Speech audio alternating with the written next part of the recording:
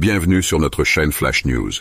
Aujourd'hui, nous plongeons au cœur d'un scandale choquant qui révèle la triste réalité des camps de réfugiés de Tindouf.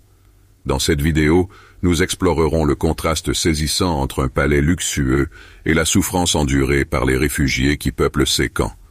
Tindouf, une région où des milliers de réfugiés vivent dans des conditions précaires depuis des décennies. Mais derrière cette histoire de souffrance se cache un scandale qui a récemment éclaté au grand jour. Un palais luxueux d'une valeur de 3 millions de dollars a été construit pour le chef des séparatistes, Ben Batouche, a affirmé un responsable des finances des séparatistes du Polisario. Et ce même responsable d'ajouter qu'un pays ami avait financé et équipé le palais du chef de Polisario, avant de préciser que le pays en question était le Venezuela. Des aides humanitaires destinées aux réfugiés ont été détournées, privant ainsi les plus vulnérables de l'assistance dont ils ont désespérément besoin.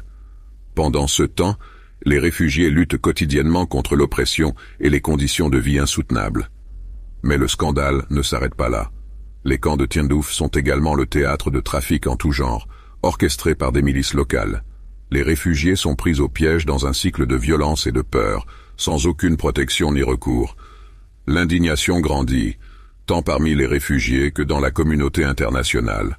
Le comble de ces provocations, le chef séparatiste n'a pas hésité à annoncer qu'il possède des biens immobiliers et des maisons dans le nord de l'Algérie, mais aussi des parts dans des sociétés immobilières en Espagne, oubliant les cris de femmes et d'enfants qui remplissent tous les recoins des camps misérables. La bande du Polisario semble persister dans sa volonté de défier la communauté internationale.